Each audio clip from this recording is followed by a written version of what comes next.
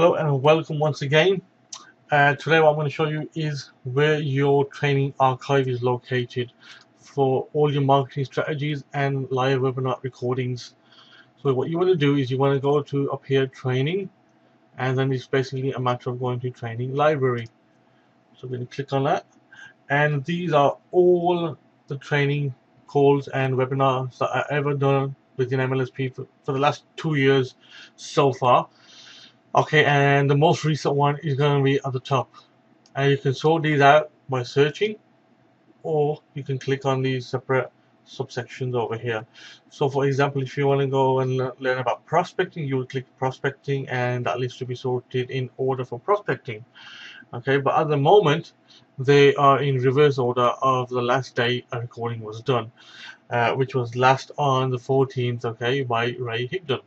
And before that he was on the 12th okay and then on the 30th and so on and so forth.